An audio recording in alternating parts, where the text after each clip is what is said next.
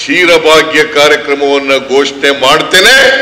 ಎಲ್ಲ ಸರ್ಕಾರಿ ಮತ್ತು ಅನುದಾನಿತ ಶಾಲೆಗಳ ಮಕ್ಕಳಿಗೆ ಹಾಲು ಕೊಡ್ತೇನೆ ಅಂತಕ್ಕಂಥ ಮಾತುಗಳನ್ನು ಹೇಳ ಹಿಂದೆ ಕೊಟ್ಟಿದ್ರ? ರೈತರ ಮಕ್ಕಳು ಕೊಟ್ಟಿದ್ರ? ಕೊಟ್ಟಿದ್ರೇನ್ರಿ ರೈತ ಮಣ್ಣಿನ ಮಕ್ಕಳು. ರೈತರು ಮಕ್ಕಳು. ನಾವ್ಯಾರ ಮಕ್ಕಳಪ್ಪ ಆ?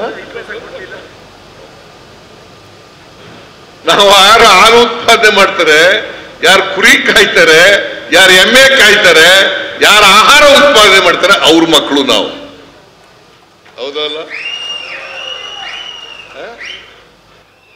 ಏನೂ ಮಾಡ್ದೇನೆ ನಾವು ರೈತರ ಮಕ್ಕಳು ನಾವು ಮಣ್ಣಿನ ಮಕ್ಕಳು ರೈತರ ಮಕ್ಕಳು ನಾವು ಮಣ್ಣಿನ ಮಕ್ಕಳು ನೀವು ಯೋಚನೆ ಮಾಡಬೇಕು. ಯೋಚನೆ ಮಾಡಬೇಕು. ಈಗ ನೂರ ಇಪ್ಪತ್ತು ಕೋಟಿ ರೂಪಾಯಿ ಬರೀ ಒಂದು ತಾಲೂಕು ಹೆಡ್ ಕ್ವಾರ್ಟರ್ಸ್ಗೆ ಅನೇಕ ಅಭಿವೃದ್ಧಿ ಕೆಲಸ ಮಾಡಲಿಕ್ಕೆ ನೂರ ಇಪ್ಪತ್ತು ಕೋಟಿ ರೂಪಾಯಿ ಎಲ್ಲಿಂದ ಬಂತು? ನಾವು ಗ್ಯಾರಂಟಿ ಯೋಜನೆಗಳಿದಾವಲ್ಲ, ಐದು ಗ್ಯಾರಂಟಿ ಯೋಜನೆಗಳು ಯಾರಿಗೋಸ್ಕರ ಮಾಡಿರೋದು?